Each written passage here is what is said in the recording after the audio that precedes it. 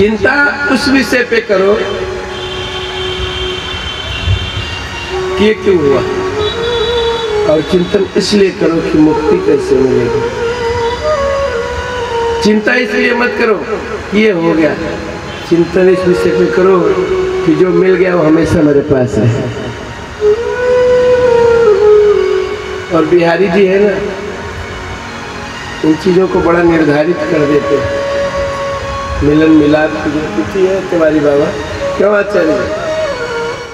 एक योग संयोग होता है। अभी हमारा तीस तारीख का टिकट जाने का था, पर किसी पे बिहारी जी की कृपा हो गई। और अगले महीने की सत्ताईस को फिर दिल्ली आना पड़ रहा फिर जुदाई किसे कहते हैं?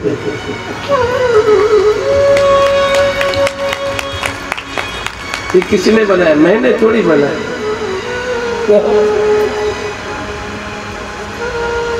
अभी तीस तारीख को जाना है यहाँ से। और फिर अगले महीने की सत्ताईस को। तो इस धरा की पुकार है, अपनों की पुकार है। एक कार्यक्रम है मेरा। आना पड़ा। तो बिहारी जिसको बुलावे उसे तो बिहार करना ही पड़े। सब ब्रह्म है। शब्द में राम है और यहाँ तक कि जब ये भगवान जाने लगे हैं ना तो उद्धव जी ने भगवान से कहा कि आप चले जाओगे शांति से।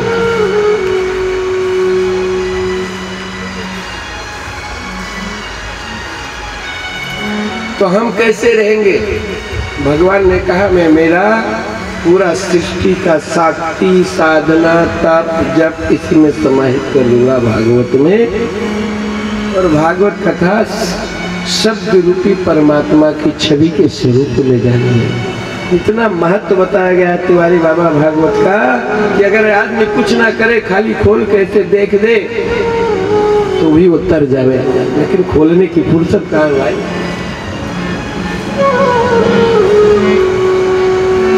रूपी भगवान की छवि का नाम है भागवत ग्रंथ। और ऐसे हुए हमारे देश में। ऐसे ऐसे सिद्ध संतों को मैंने देखा है।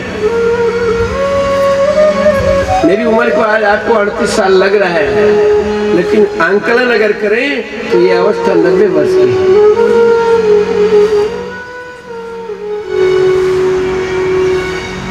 है, ये नब्बे वर्ष की अवस्था है। अड़तीस की नहीं। पूछो कैसे? एक शादी करके पति पत्नी का जोड़ा आता है। गुरु के दरबार में लड़की की उम्र तेईस, पति की उम्र पच्चीस। लोगों ने पूछा, बहन, तेरी उम्र कितनी है? बोले, मेरी उम्र तीन साल ध्यान देना, लड़की ने कहा, मेरी उम्र तीन साल और बोले, तेरे पति की? बोले, एक साल बोले, पागल बना रही, पच्चीस की तू तेरा पति तेईस की तू? बोले, ये ज़िंदगी तो बेकार है। मैंने गुरु बना करके तीन साल हो गया और मेरे पति ने आज एक वर्ष से गुरु बनाया, इसलिए वास्तव में उम्र तो वही है जिस दिन से गुरु की कृपा बना तो जय माता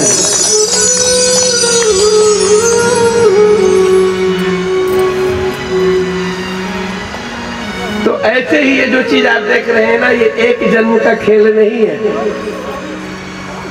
ये जो अड़तीस साल की उम्र में यहाँ पर भगवान ने मुझे लाया, ये एक जन्म का कार्य नहीं है। कई जन्मों का थोड़ा थोड़ा थोड़ा थोड़ा पाप, पुण्य पाप, पुण्य। इकट्ठा होते होते माता पिता की तपस्या, संस्कार होते होते तो इस स्थिति में आए। यानी संत होना या फिर संत के सानिध्य को पाना, दोनों बराबर है। संत होना या संत के सानिध्य को पाना। दोनों बढ़िया बात है, नर से नारायण वाली प्रक्रिया है, लेकिन दोनों पा करके ज्ञान में नहीं उतारना, वो रो रो नरक जाने का संकेत भी होता है।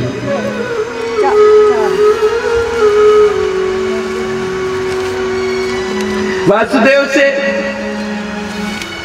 देव ऋषि नारद ने कहा, क्या चिंता मत करो। चिंतन करो। किसका? बोले, याद है वसुदेव, जब तुम्हारे पुत्रों की हत्या हो रही थी तो तुम्हारे गुरु गर्गाचार्य ने भगवती माँ की साधना की थी। विंध्य पर्वत पे जाकर तुम्हारी सुरक्षा के लिए और वहाँ साधना करने के बाद माँ विंध्यवासिनी पैदा हुई, प्रकट हुई। तो अब आप माँ भागवती की साधना करो। तो वहाँ पर वासुदेव ने कौन सी कथा सुनी? देवी भागवत, आचार्य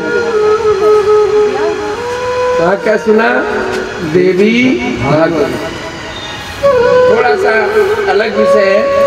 इसलिए मैं बटुक जी को कहता था, परसों नरसों, कि खाली भागवत कथा पढ़ के प्रवक्ता नहीं बनना पड़ता है। बिल्कुल वेद है।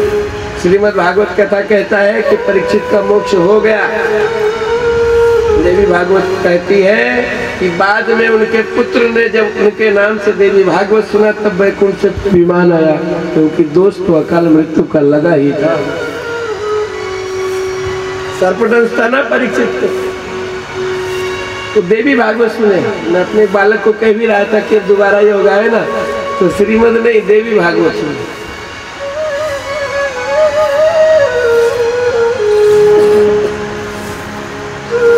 देवी भागवत सुनी।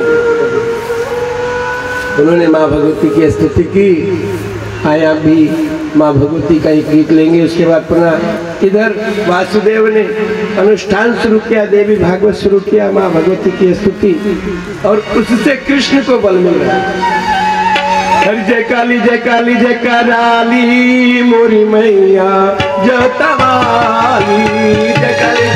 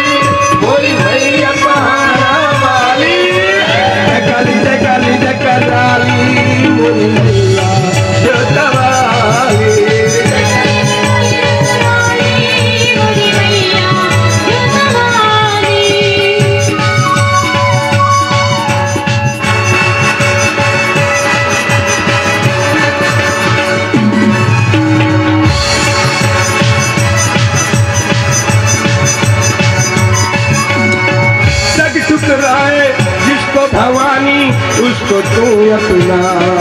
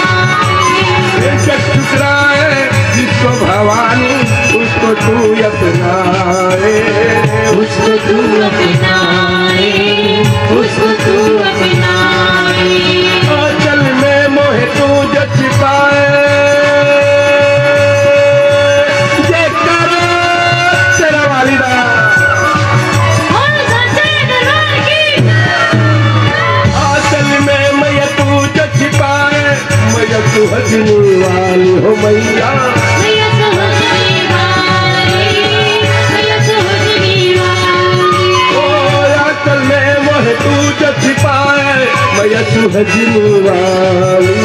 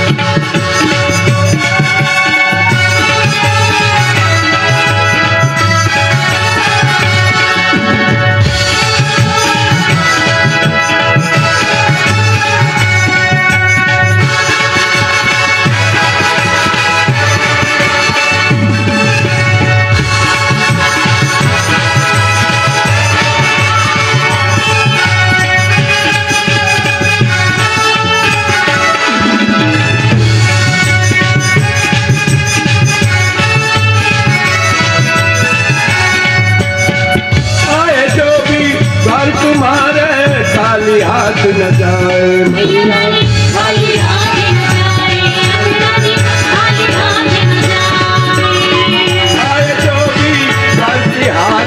खाली हाथ न जाए। हाथ न जाए। हाथ न जाए।